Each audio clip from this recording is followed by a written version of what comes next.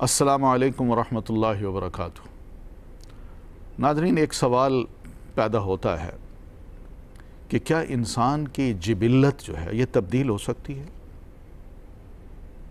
جب اس کا مزاج ہی ایسا ہے اور ہر مخلوق کا اپنا اپنا ایک مزاج ہوتا ہے، ایک جبلت ہوتی ہے، وہ مجبور ہوتا ہے کہ وہ اپنی اس جبلت کے تحت کام کرے۔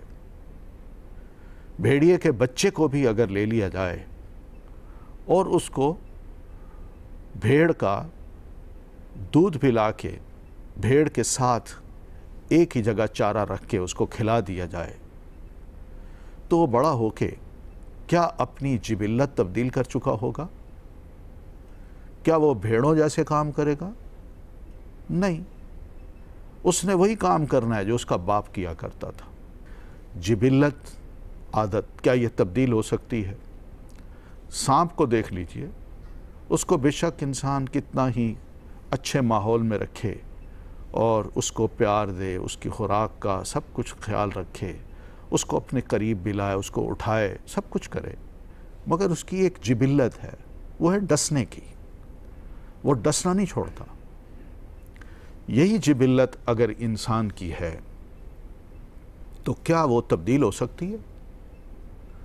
اس بارے میں اصول یہ ہے کہ انسان کی جبلت کو مکمل طور پر بدلنا مقصود نہیں ہے، بلکہ اس کے اندر جو انتہا پسندی ہے یا بالکل کوتاہیاں ہیں، ان سب کو نصیحت کے ذریعے، واز کے ذریعے، اچھے، اچھی تعلیم کے ذریعے اعتدال پہ لانا ہے۔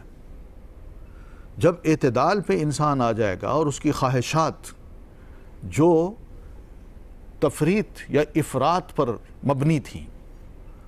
ان میں بہت انتہا تھی یا بالکل کوتاہیاں تھیں۔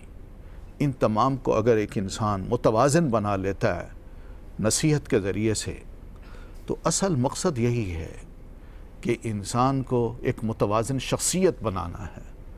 دین یہی چاہتا ہے کہ اصلاح نفس اسی چیز کا نام ہے کہ بندے کو انسان کو ایک ایسے مقام پر لایا جائے کہ وہ ایک متوازن شخصیت محسوس ہو اور یہ صرف اور صرف دین کی تعلیمات سے یہ چیز نصیب ہوتی ہے۔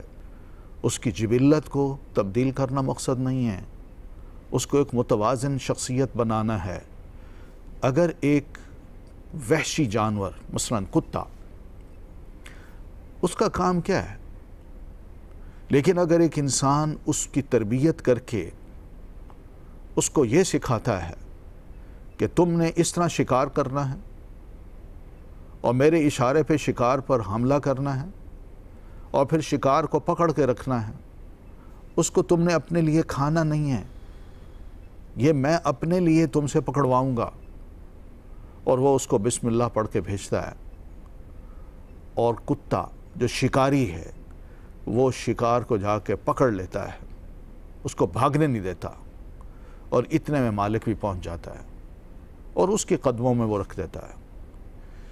یہ اگر کتا اپنی جو درندگی ہے، اس کی جبلت سے ذرا تھوڑا سا لو ہو جاتا ہے تعلیم اور تربیت کے ذریعے سے، اور اس کے اندر وہ درندگی جو چیرنے پھاڑنے والی ہے، نوچ کے کھا جانے والی ہے وہ ذرا متوازن ہو جاتی ہے۔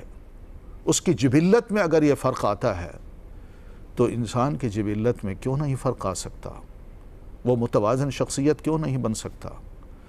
اگر ایک وحشی جانور تعلیم اور تربیت سے ایک متوازن جانور بن سکتا ہے، تو حضرت انسان کے لیے بھی متوازن بننا ناممکن نہیں ہے، بلکہ ممکن ہے۔ اسی طرح گھوڑا ہے۔ گھوڑے کو اگر اچھی تربیت دی جائے تو دیکھیے کتنا وفادار، کتنا وفا شعار اور اس کے ساتھ ساتھ اپنے مالک کا کتنا زبردست کہنا ماننے والا یہ گھوڑا نکلتا ہے۔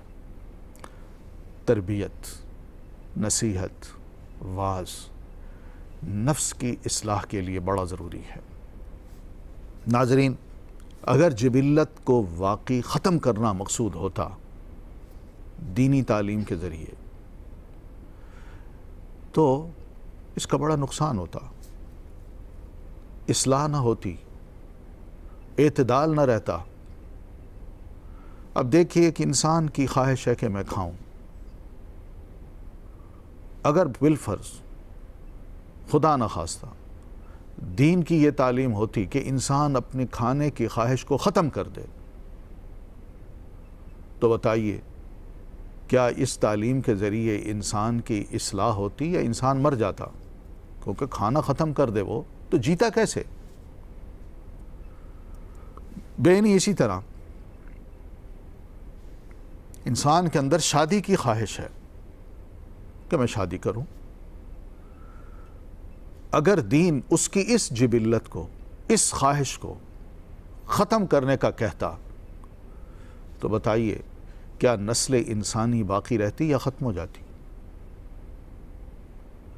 اسی طرح غصہ ہے، غضب۔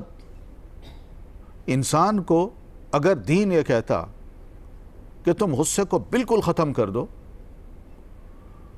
تو اس کا نتیجہ کیا نکلتا؟ کہ انسان کبھی بھی وہ چیزیں جو انسان کو تباہ و برباد کرنے والی ہیں، ان سے کبھی بھی اپنی مدافعت نہ کر سکتا، اپنا دفاع نہ کر سکتا۔ ناظرین، کلمات ہیں قرآن مجید کے قابل غور ہیں۔ جب اللہ تعالیٰ فرماتا ہے نا، اشداء علی الکفار کہ مومن یا یہ صحابہ کرام کافروں پر بڑے سخت گیر ہیں۔ یہ سخت گیری کس چیز سے پیدا ہوتی ہے؟ غضب سے۔ غیرت سے۔ اگر یہ غضب ختم ہی ہو جائے تو بتائیے کیا میدان میں لڑائی لڑی جا سکتی ہے؟ ایک ڈھیلا ڈھالا سپاہی میدان جنگ میں اپنے دشمن سے کیسے لڑے گا؟ جب اس کے اندر غضب ہی نہیں، سختی ہی نہیں۔ ناظرین، اسی طرح ہمارا دین یہ کہتا ہے وَالْقَازِمِينَ الْغَيْزِ غصے کو پی جانے والے یہ نہیں کہا کہ غصے کو ختم کر دینے والے۔ غصہ پی جانا یہ اعتدال ہے۔ کیونکہ انسان وقتی طور پر اپنے غصے کو جب ظاہر کر بیٹھتا ہے، اپنا غصہ جھاڑ دیتا ہے کسی پہ، تو اس کی شخصیت ایک غضبناک نظر آتی ہے۔ دوسرے اس سے خوش نہیں ہوتے۔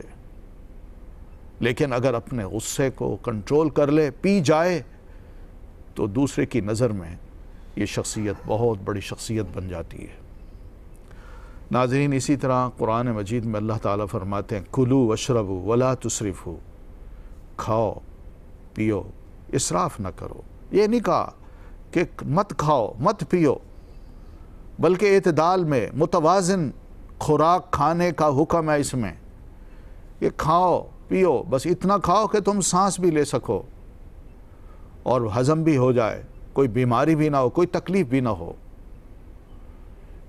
مقصد صرف یہی ہے کہ دینی تعلیمات انسان کو متوازن شخصیت بناتی ہیں۔ اسی متوازن شخصیت کا نام ہوتا ہے ایک مسلمان اور اصلاح نفس جو ہے وہ انہی چیزوں کے ذریعے سے ہوتی ہے کہ انسان اپنے آپ کو ایسی شخصیت بنائے جو متوازن ہو۔ ناظرین، وقفہ لیتے ہیں۔ اس کے بعد پھر آپ کی خدمت میں حاضر ہوتے ہیں۔